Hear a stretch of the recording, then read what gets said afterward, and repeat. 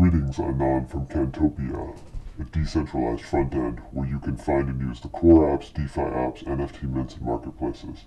Here we're looking at some featured components which are small, decentralized applications embedded in a larger decentralized application, which is this landing page. I'm going to do a quick swap from USDC to Note.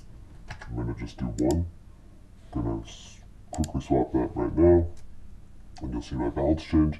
We can also swap on the base router. This is swapping on the CantoFi Uniswap contract. Here we can uh, mint some NFTs and we can also search for more components. Um, let's just check that uh, the swap happened. It was confirmed. Okay, so if we check our balance, we have more note. That's great. So now we can take a look at some of the components so we can actually go view the source of a component. And of course, all component code is on chain.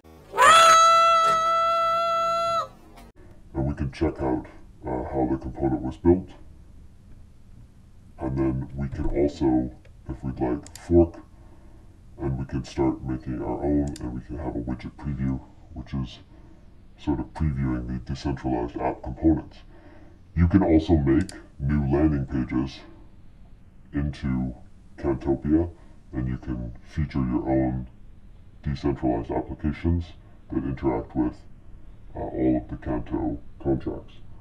Thank you, Anon, and watch out because we are coming for your apps. We are anonymous. We are Legion. Expect.